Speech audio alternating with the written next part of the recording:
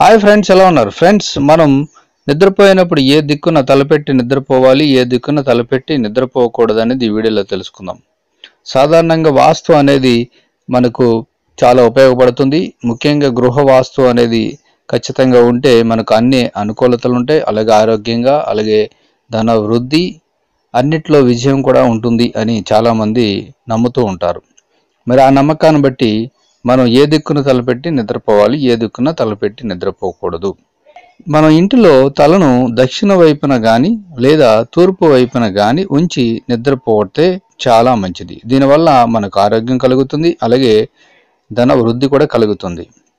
మీరు ఎప్పుడైనా ఇతరుల ఇంటికి వెళ్ళినప్పుడు అంటే మీ బంధువులు కానీ లేదంటే మీరు ఎప్పుడైనా తల దాచుకోవడానికి ఎక్కడైనా వెళ్ళినప్పుడు ఇతరుల ఇల్లుగా అవి మనం అనుకోవాలి.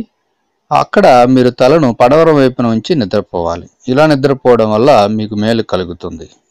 ఇక ఉత్తరం వైపున తల ఉంచి కానీ ఎక్కడా కూడా ఎప్పుడూ కూడా నిద్రపోకూడదు.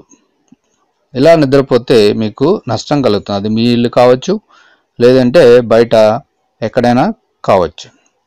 ఇక మీరు మంచి ఆరోగ్యం కావాలని అనుకుంటే తూర్పు దిక్కున తల ఉంచి నిద్రించడం చాలా మంచిది.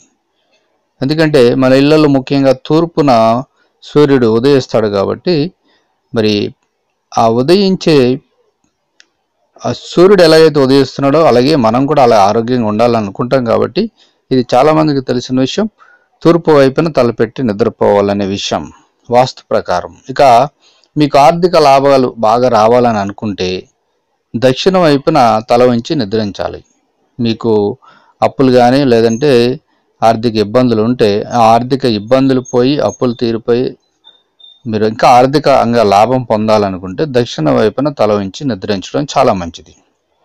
ఇక పడమర వైపున ఎప్పుడూ కూడా మీరు తల పెట్టి నిద్రించకూడదు. ఎందుకంటే ఇలా చేయడం వల్ల మీకు నాశనం అలాగే సుఖ నిద్ర ప్రాప్తి అనేవి ఎప్పుడూ కూడా ఉండవు. కాబట్టి గమనించాలి.